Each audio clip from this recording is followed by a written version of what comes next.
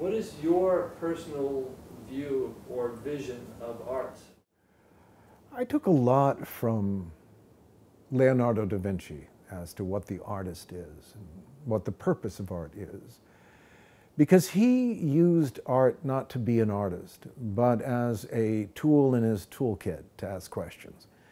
And he realized that to explore the nature of creation, one must trust the truth that one is creation, that one is the microcosm or the, the universe in miniature.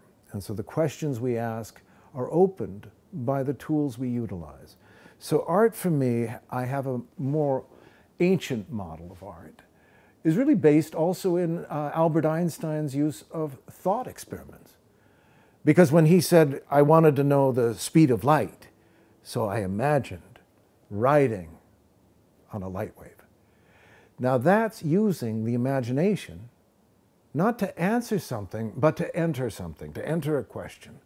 And this is art for me. It's the tool that allows us to bridge into our imagination, not our fantasy. Those are repetitious loops that affirm what we already know.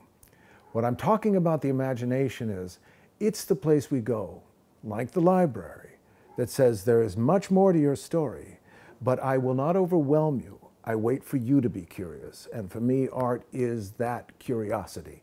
Because every artist, every creator, every being will approach these things differently. That's the art of being human. So essentially, I see the human form as an art form, meaning the difficulties of our life create a unique story, a unique version of humanity, but they're just as human, just as important to the greater story. So the artist and art are what allows us to see essentially also the music that arises from the instrument. And art is our way of utilizing ourselves as that very instrument. Thanks.